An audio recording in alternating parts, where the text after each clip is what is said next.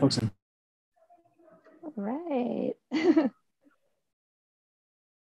Hello, everyone. Um, thank you for joining us today. I'm wait just a second here to let everyone get admitted.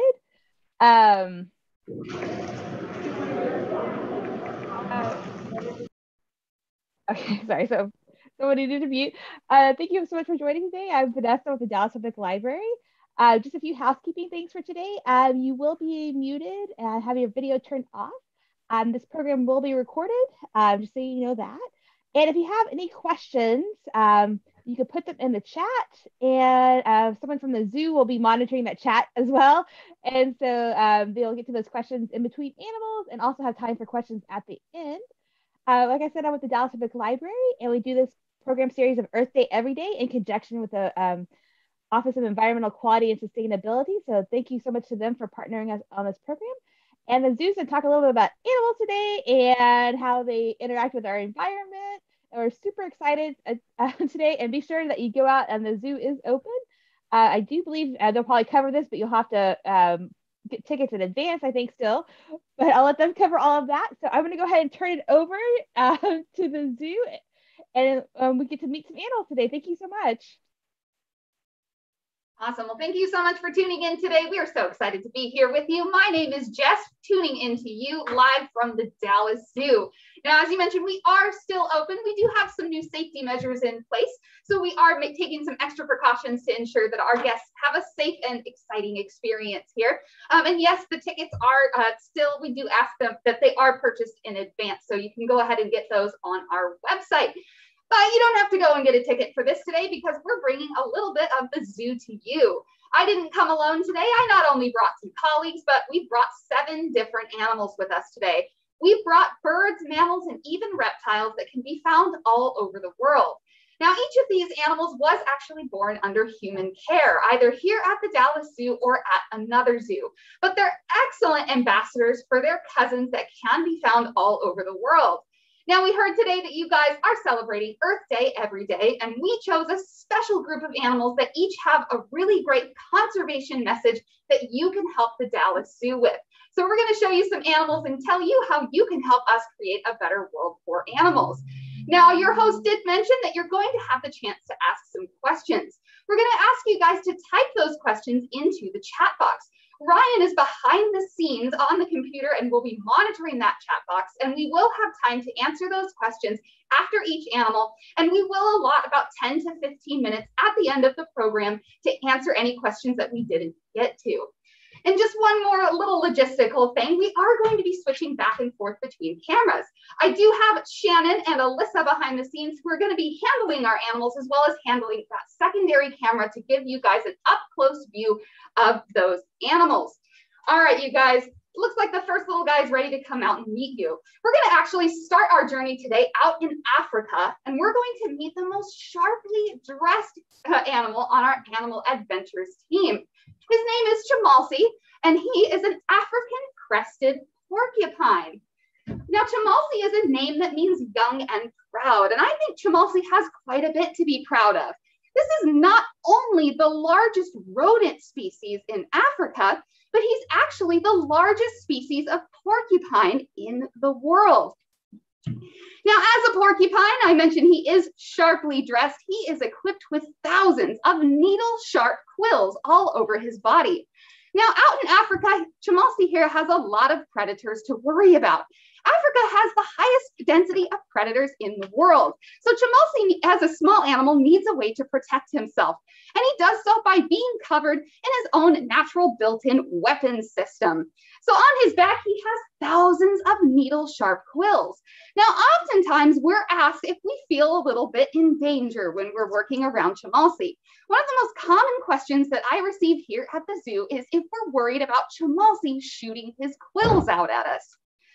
Well, Chamalsi's quills here are actually a type of hair. It's a type of modified hair. So he can shoot those quills out of his body about as well as we can shoot the hair out of our heads. So not at all. That is just an animal myth. However, even though he cannot shoot those quills, it's still one of the most amazing and effective adaptations for defense in the animal kingdom.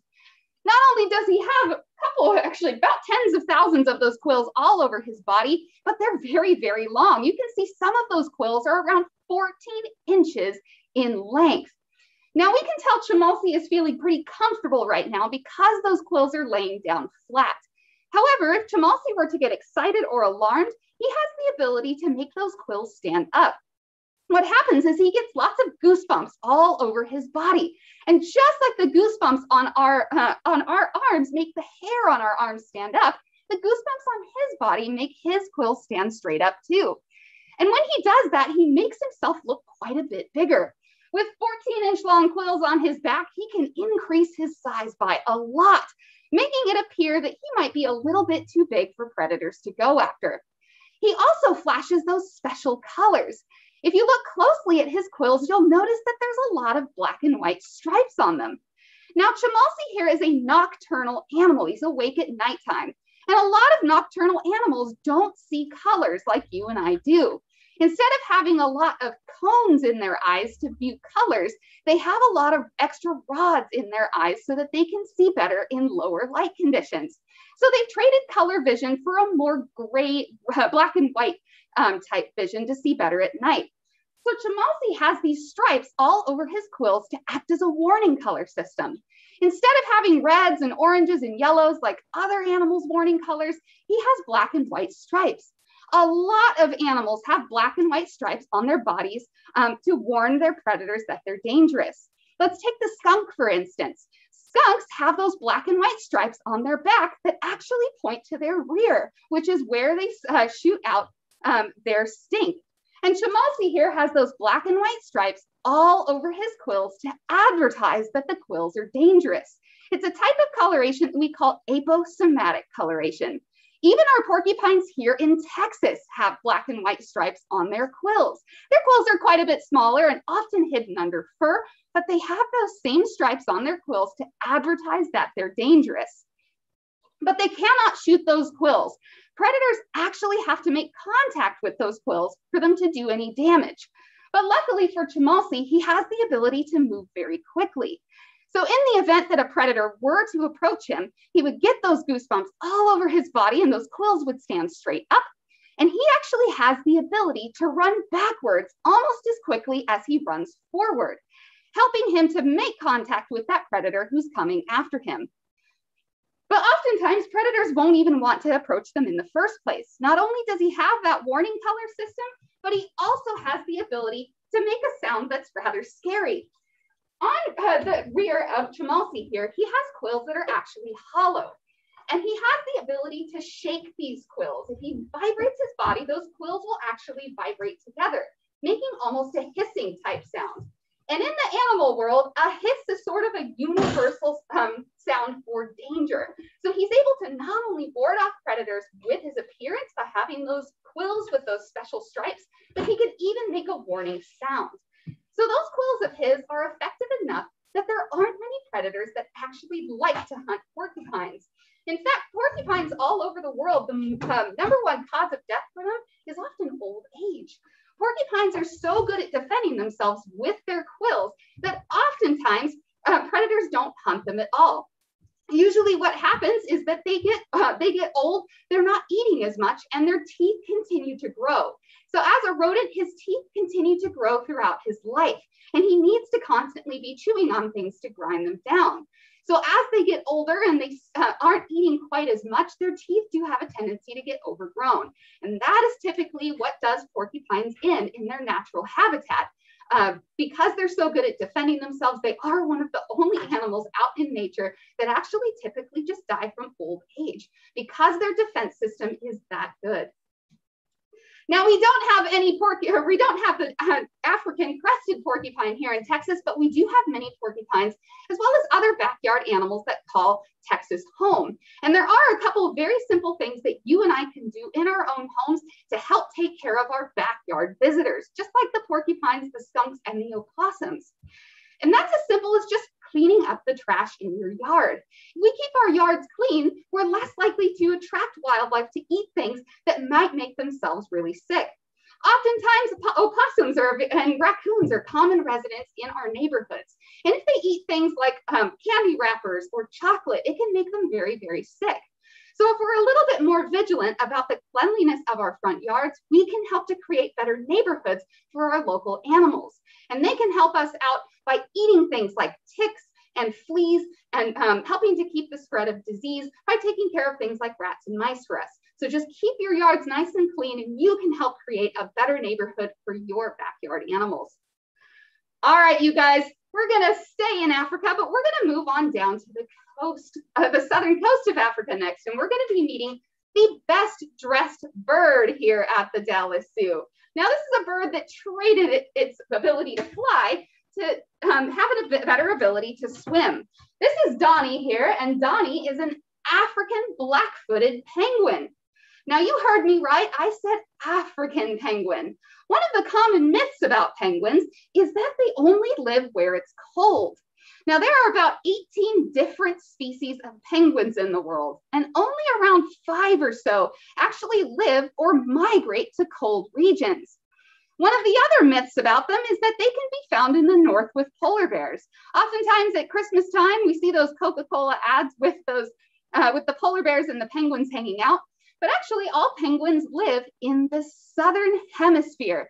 Polar bears live in the north, so you'll never see them together out in their natural habitat.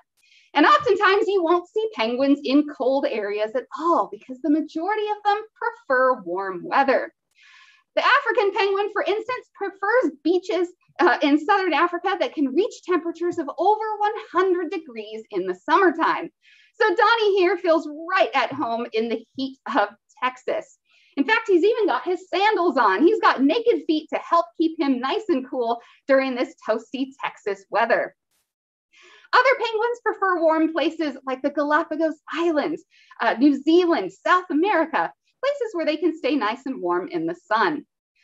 But Donnie here lives on those rocky beaches of South Africa.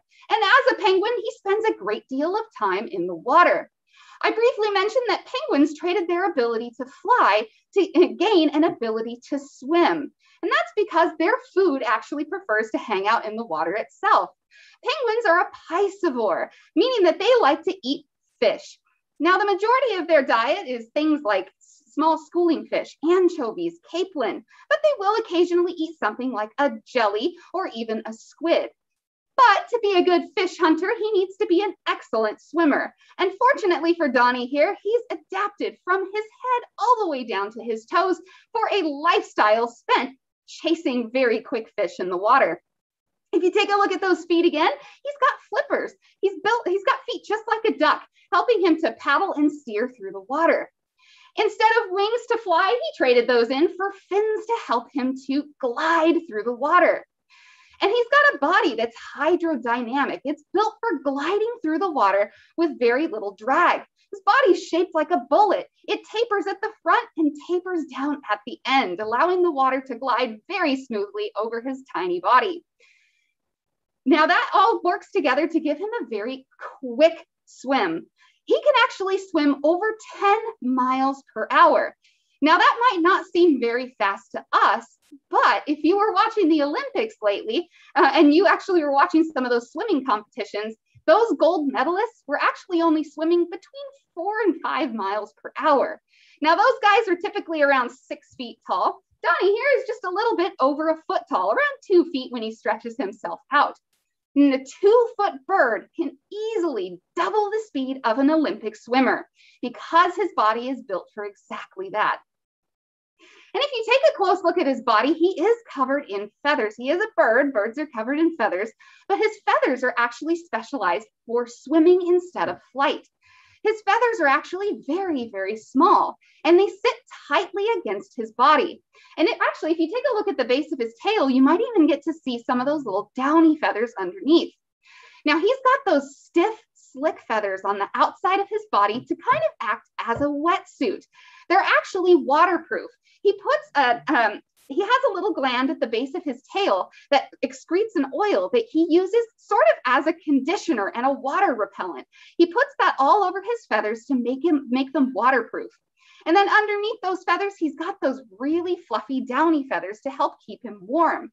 So those feathers work together to keep his skin dry and warm as he's swimming in that icy ocean water after his food. These birds can dive to really deep depths. And the, when you get deeper in the ocean, the water gets quite a bit colder. So he's got those feathers that help keep him toasty warm at just about any depth that he needs to go in that ocean. So this is an animal that is perfectly built for a life spent largely in the water. However, this is an animal that does need our, uh, need our help. He is actually an endangered species. We've lost over 99% of this species over just the last 100 years. And that is actually because their nesting uh, spot has a resource that people really like to use. So instead of building a, a, nest out of sticks like a lot of other birds do, they actually prefer to make their nest in their own guano.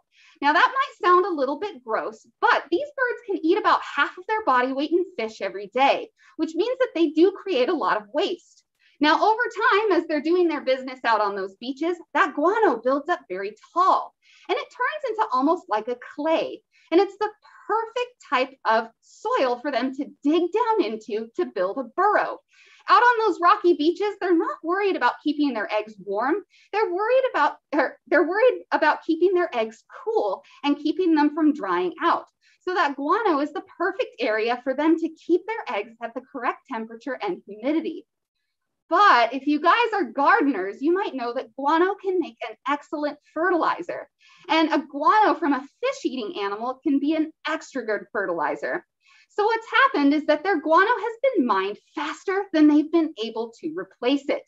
And so without places for them to lay their eggs, there are fewer penguins making it to adulthood or even hatching in the first place. So over this past um, just 100 years, we've lost over 99% of this, these birds, largely due to that. But there is a lot of hope for these penguins, and it's because of support from people like you that they do have uh, this little glimmer of hope in their future. So the Dallas Zoo's got a really smart guy. He's our assistant curator of birds and ectotherms. He actually designed an artificial nesting igloo that mimics the same temperature and humidity as their natural guano nests. Now, he worked together with some other AZA accredited zoos, and they actually raised enough money to install several thousand of these nests across the penguins' beaches in Africa. And some of our staff have even gotten to accompany him out there to help install some of these nests. And these penguins were so desperate for places to nest that they actually utilized these, um, these igloos within their first year. So what happened is about 90% uh, of these igloos in that first season they were installed, they actually had penguins inside of them. And around 60% of those nests that had penguins inside of them actually fledged young penguins. So just by uh, booking programs like this and visiting the zoo, you guys are all helping the Dallas Zoo to create a better world for animals with avenues like this.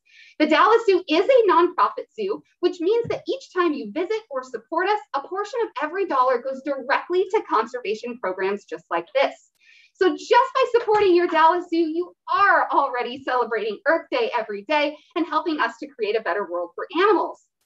Now, I did see we had some questions pop up. Vanessa wants to go back to the porcupine. She wants to know, do they naturally shed their quills since they are a type of hair? Yes, they do. So just like we shed hair out of our heads every day and um, dogs shed hair out of their, um, their bodies um, throughout the year, yes, our, our porcupine does shed his quills. And just like our hair, each time he sheds a quill, a new one grows back. And there are certain times of the year where he does shed more quills um, than others. So in the summertime, Jamalsi will often lose sometimes um, between uh, 10 to 12 quills every single day, and they all grow back. Great question. JRS wants to know Does Donnie, the penguin, eat anything besides fish? No, Donnie really does prefer to just eat fish here at the zoo. So his favorite fish include things like smelt uh, and capelin. So he actually likes to eat the same kind of fish that um, sushi restaurants put um, into sushi. Those little eggs that are on the outside of sushi rolls are actually the kind of um, smelt fish uh, that uh, Donnie likes to eat. And sometimes he likes to enjoy some herring as well. But here at the Dallas Zoo, he really does prefer to eat just fish. JRS also wanted to point out that everyone can make a difference, that each little impact we all make every day really adds up to make a difference for the environment. So good pointing that out. That's right. All right, you guys, we're going to stay in Africa, but we are going to travel to a little island off of the coast of Africa that you may have heard of before. It's called Madagascar. Now, if you guys have hung out with your grandkids and watched that movie Madagascar, you might know that it's the island that has those lemurs that like to move it, move it. Well, we're going to meet a reptile from that island who likes to do a little bit of moving herself. On her way out, we've got Tana, and Tana here is a radiated tortoise. Now, sometimes when scientists give animals names, they're not super creative with them. They often give them names that kind of highlight some feature on their body. And in Tana's case, she gets the name radiated tortoise because of that beautiful shell of hers. If you take a close look at it, it almost looks like she's got little rays of sunshine radiating down that shell of hers, hence the name radiated tortoise. Now, speaking of that shell, it's a really important feature for her as a tortoise, she's got a lot of things that she, a lot of predators that she may have to worry about. A lot of animals will eat things like turtles and tortoises. So they've got that natural, that shell built in on their body to kind of act as a natural helmet. It helps to protect them from things that might fall on them as they're traveling around or things that might want to hunt them. Now that shell is part of her body. She cannot come out of it. It's actually made out of the same stuff as our hair and our fingernails are. And that same stuff that those quills, that porcupine had are. If you take a close look at it, it's made out of this stuff called keratin. Keratin is a type of protein that's found in a variety of things in the animal world. Our uh, keratin is what our hair is made out of. Our fingernails, fingernails are made out of. Bird beaks and bird feathers are made out of keratin as well. But that keratin on her is just very a very hard version of that. And as she grows, that shell continues to grow more keratin inside of it. If you take a close look at the way that it's shaped, you'll notice that there's little rings in her shell. So as she grows, she grows a new layer of keratin. So as she as she grows larger, her shell not only grows larger in size with her, but it even grows thicker, helping it to make helping to make it an even better protector for her as she grows as she grows in size. But a lot of scientists think that that's probably not how turtles and tortoises come, or why turtles and tortoises got their shells. There's actually some new research that suggests that turtles and tortoises actually got their shells to help them to dig. Now, all turtles and tortoises will dig at some point in their life, either to deposit eggs out on a beach like those sea turtles or to dig themselves a burrow for shelter. Now, by having that shell that's built in, they've kind of got a natural built in back brace. So their backbone is actually embedded in their shell. And that shell is actually uh, made of bone underneath that keratin layer. And it's actually modified ribs. So by having that natural back brace built in on their back, they're actually helping to prevent strain on their back as they're digging. It's kind of like wearing a back brace can sometimes help you as you're digging a lot of holes in your garden to plant things, or uh, wearing a back brace as you're lifting weights at the gym. So it not only prevents strain on their back, but it also helps to give them a little bit more strength as they're digging in tough uh, in tough conditions. Sometimes the soil that they're digging in is really compacted and hard. And by having that natural built-in back brace, it actually helps to give them a little bit more strength as they're digging with their feet. So that shell of theirs is an incredibly important adaptation, not only for protection, but to also help them to dig, to find food, to um, find shelter, and to find a safe place to deposit their eggs. Now, Tana here, I see, how old is she? She is about 14 years old. And this is actually very young for a tortoise. So the radiated tortoise can actually live somewhere around 100 years under ideal conditions. Now, it's really hard to approach a tortoise out in its natural habitat and know how old they are. In fact, the only way to know for sure how old a tortoise is, is to know when it hatched and how long it's been around for. And the oldest radiated tortoise that we know of lived until about 180 years old. So they do live quite a long time.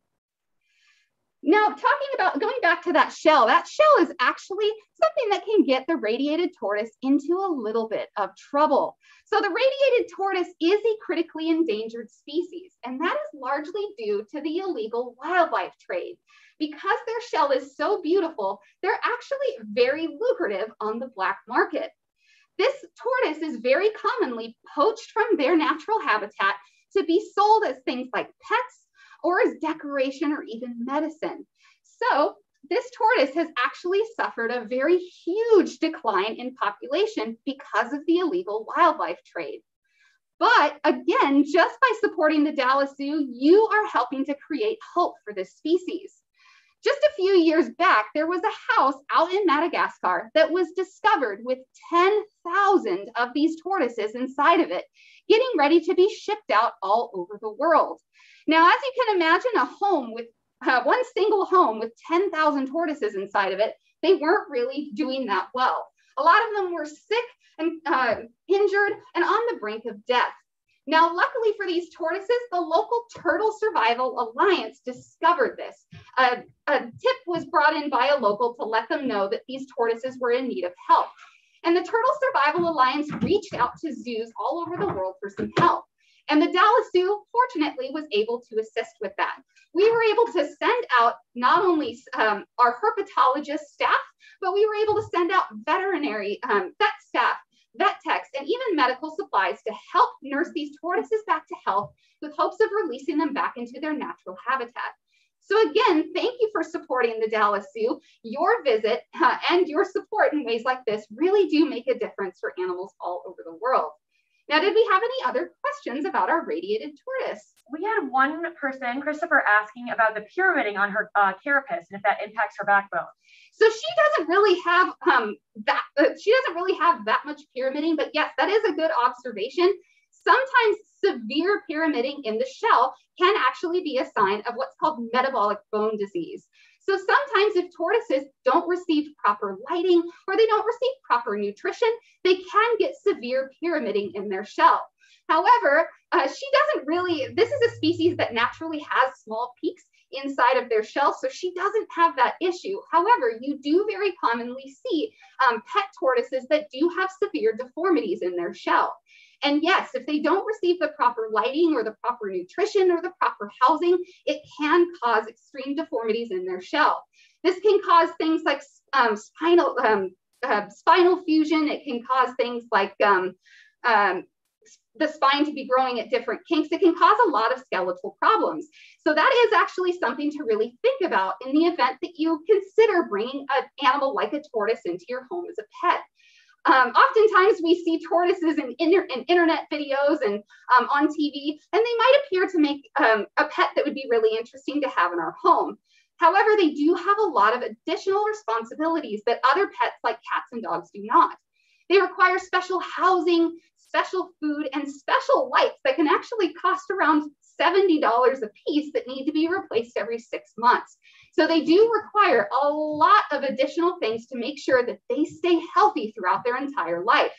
And then you have the added um, responsibility of taking care of them for a very long time.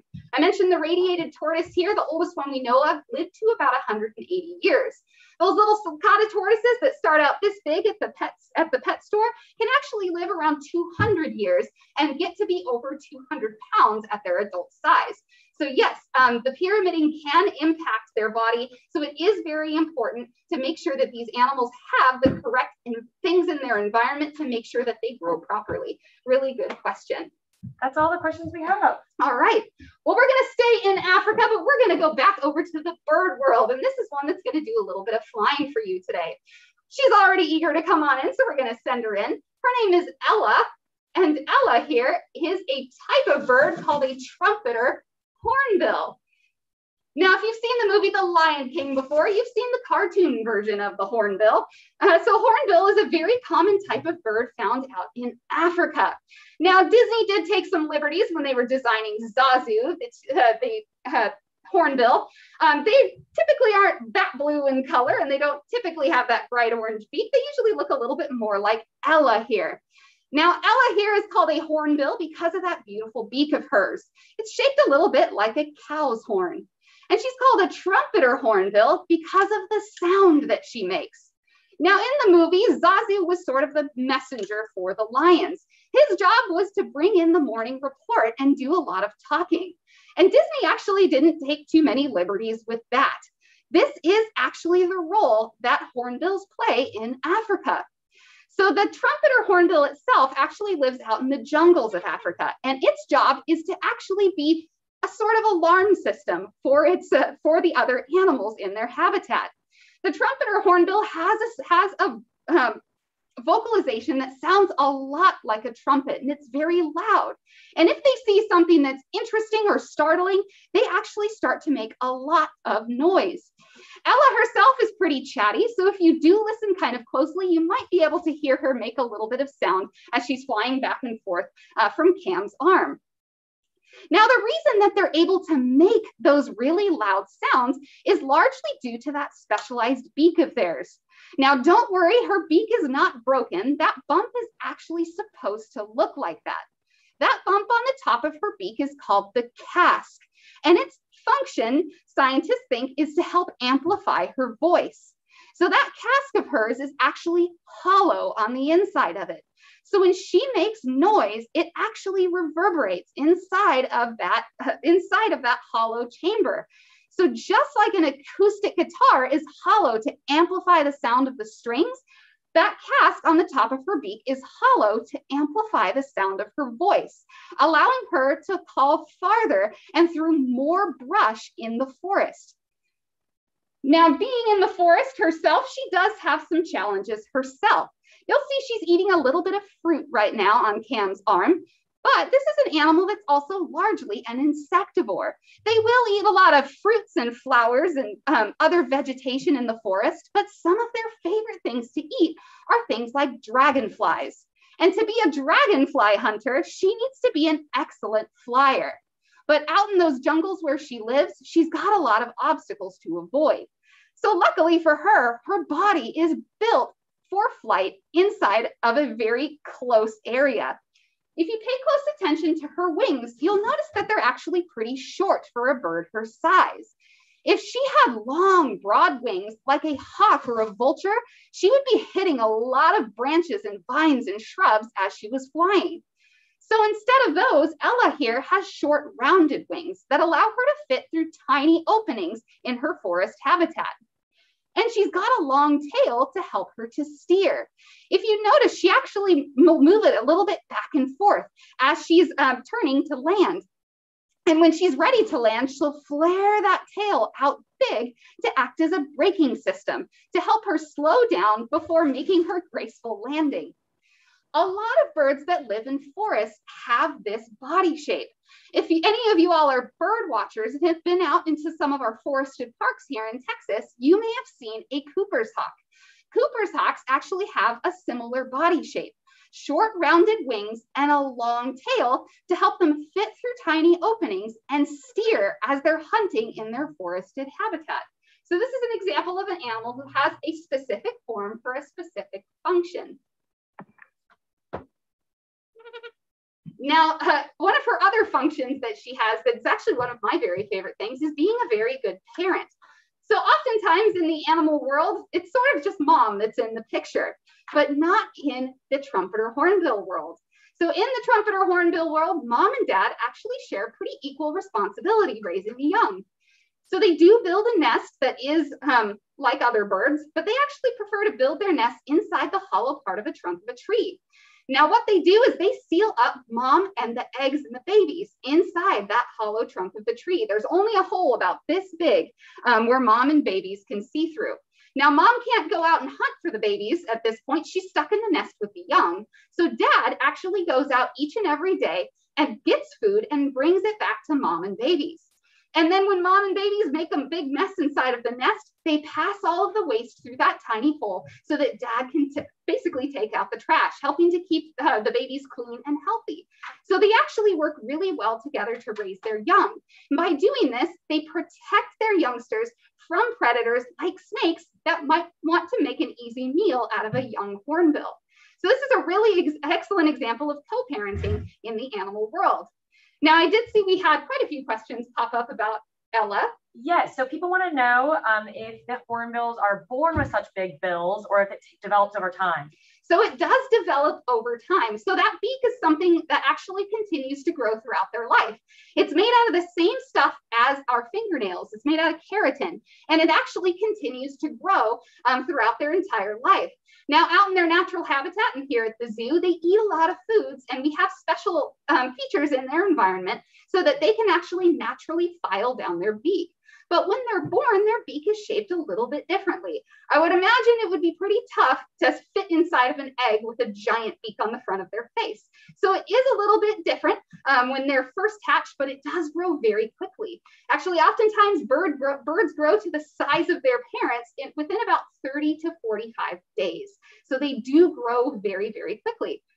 We also had a question if all species of hornbill do this, where they nest inside a tree and seal it up all but two hornbills nest inside of trees uh, um, that seal that they seal up.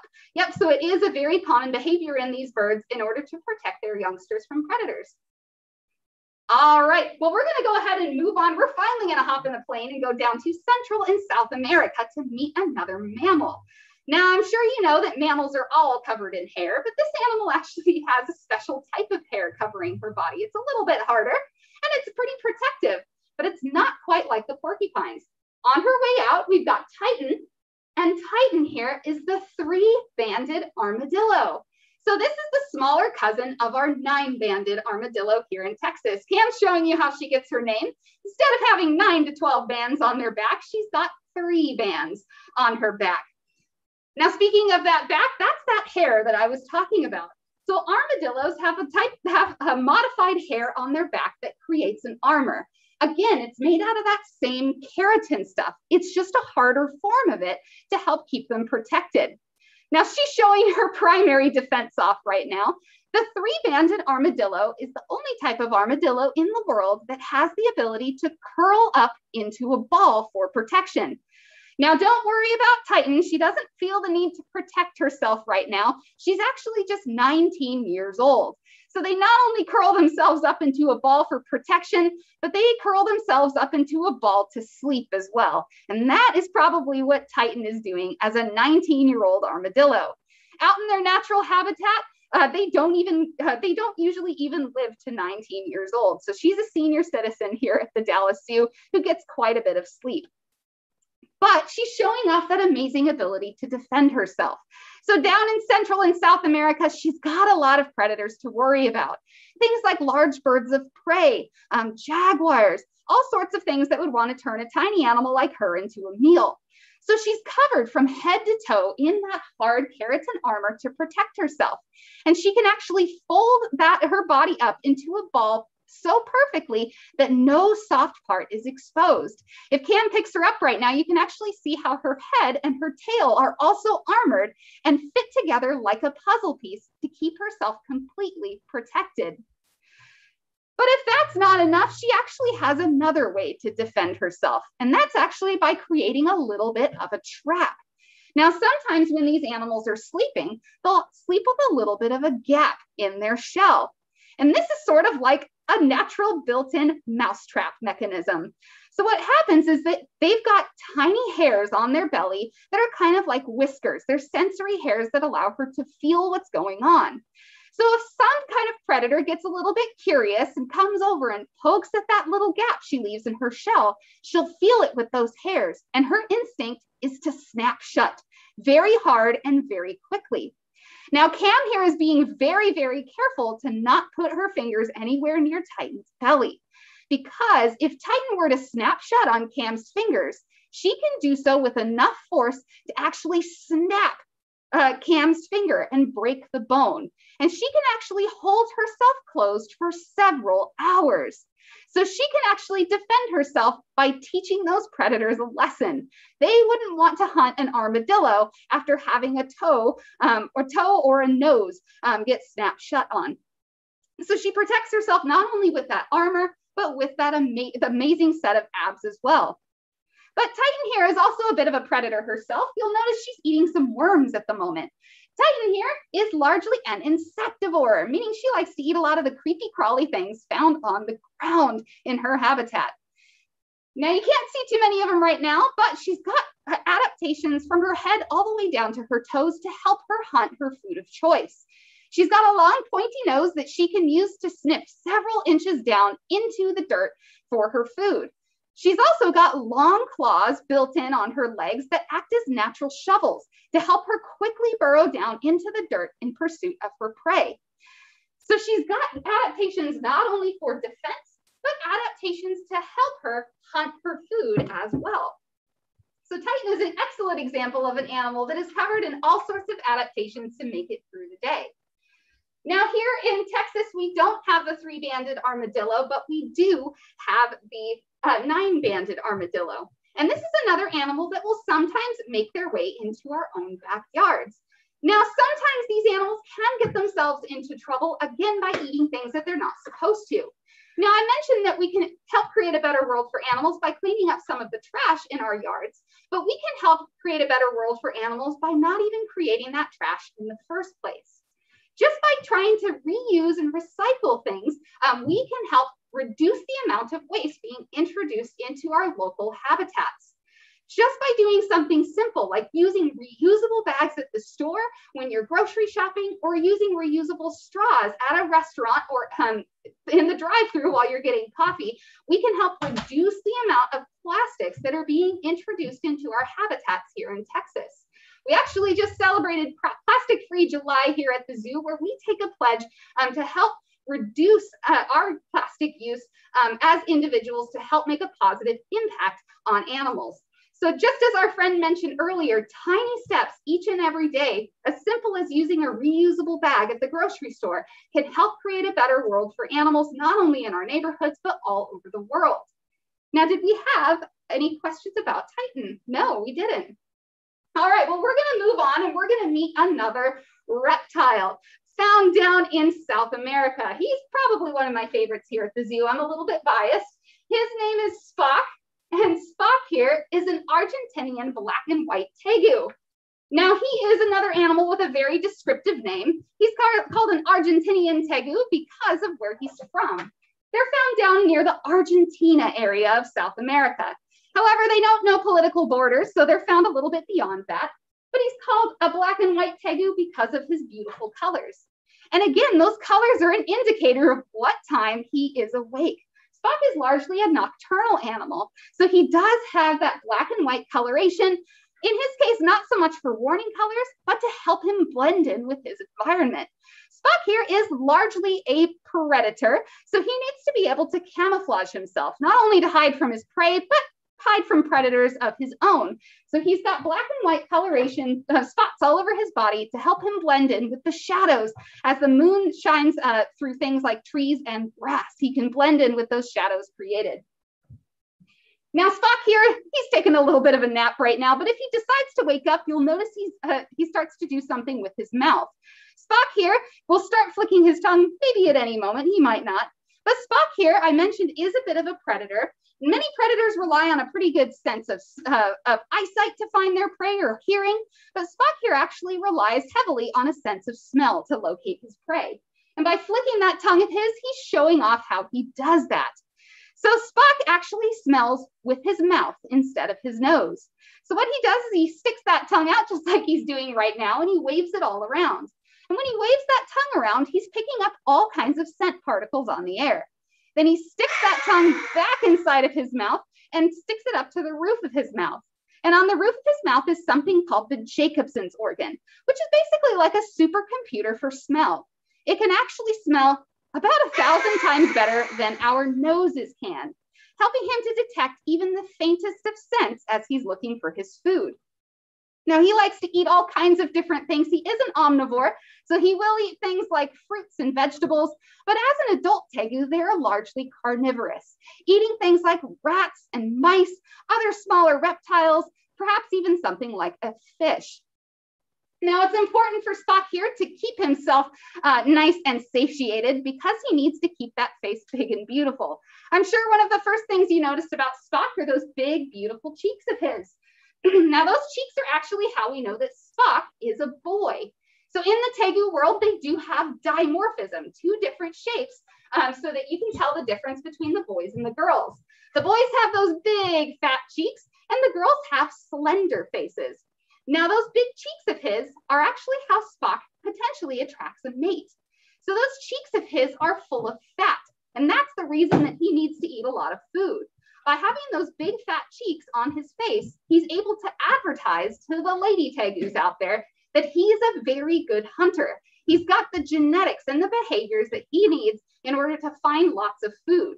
So by being a good looking tegu like that, he would potentially be a good mate for them to choose. You would want to have babies from a tegu that had big cheeks like that.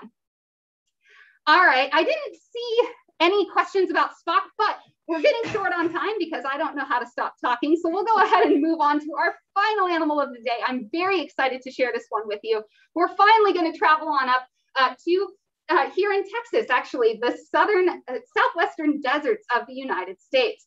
And we're going to be meeting a raptor this time. He'll be flying on in here in just a moment. He's waiting a little bit, um, but we'll ruin the surprise here. We're going to be meeting a Harris's hawk. And Harris's hawks are a type of hawk that live down in the southwestern deserts of the US. Here he go, here he comes, he's coming right on in. So Harris's hawks are a type of hawk that we can find right here uh, in Texas, not so much in the Dallas-Fort Worth area, but over um, with our friends in the western part of Texas. Now, this is an animal that is an obligate carnivore. It makes its living by hunting, but hunting in a pretty harsh area. The southwestern deserts, as well as the deserts in Central America, can be very difficult places to find food. These birds have to be able to take advantage of absolutely any food that they can find. They'll hunt things like small rodents, um, they'll hunt snakes as well as other reptiles, but oftentimes they don't really have much of a choice. They have to take advantage of just about anything they can find. And one of the most common animals down in the southwestern deserts are jackrabbits.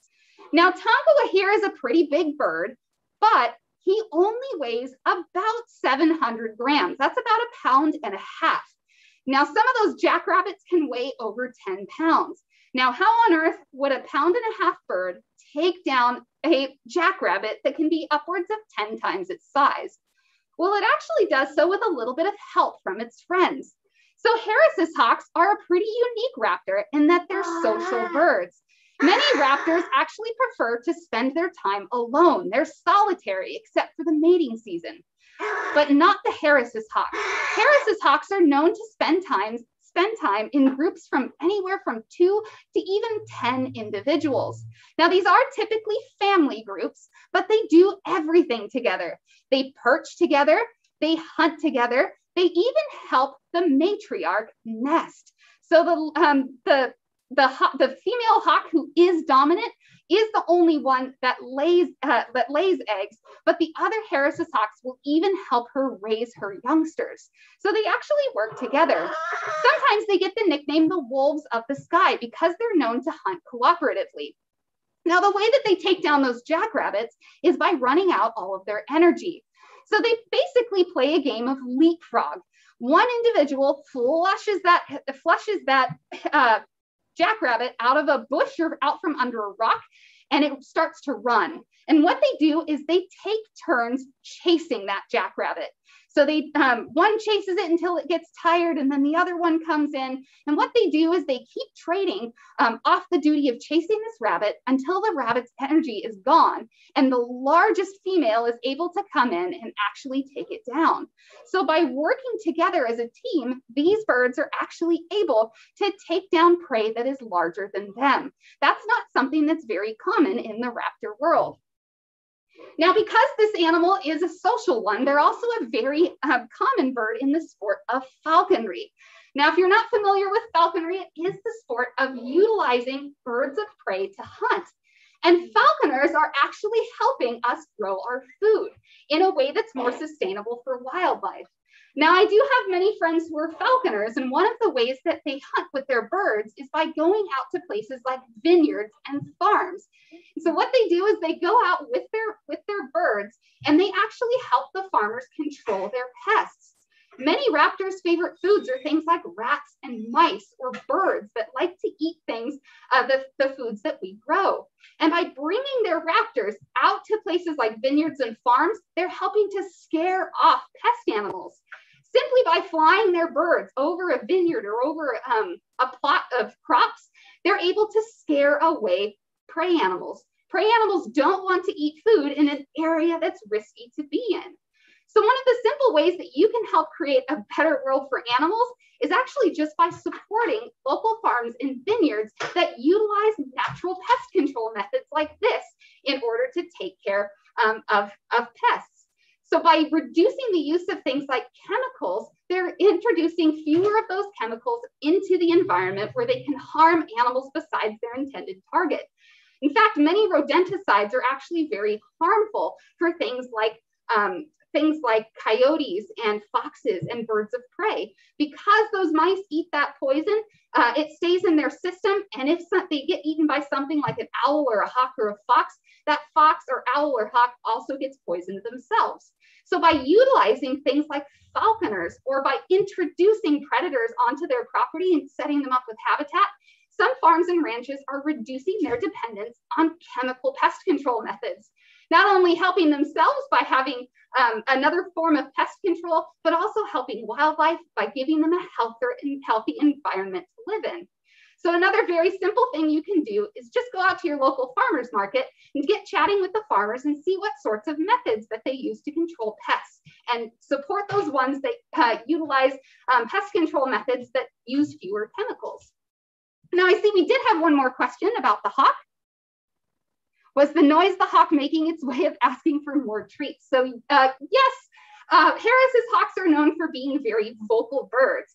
Because they live in large groups together, they do make a lot of vocalizations um, to uh, communicate with each other. And yes, Tonkawa does use a lot of vocalizing in order to um, in order to let us know what it is that he wants. So yes, he was very excited to be here and he was making a little bit of noise because he was kind of anticipating something happening. Yes.